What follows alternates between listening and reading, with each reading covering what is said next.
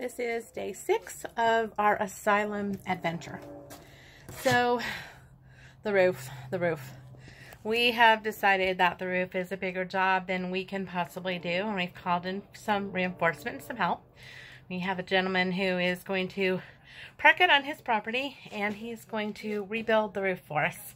And we will be able to sit back and enjoy it afterwards and just know that we have a solid roof because it was way more than we could do.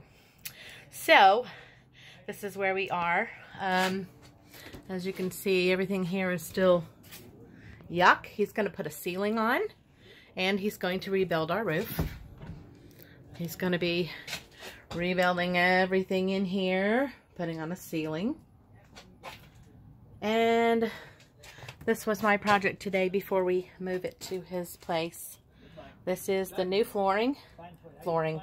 Uh, this is the new backsplash. Yeah, And I, you know, to be honest with you, I'm probably gonna do something like this myself. And uh, it came What out I really want to do is pretty. Came out really one- nice.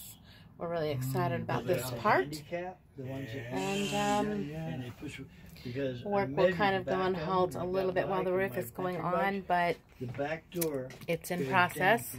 I'm thinking of taking these two cabinets out completely. And then the Don't think we need them. Don't think I want there, them. Um, so we'll keep you updated on progress, but this is day six of the man, run the Asylum Adventure.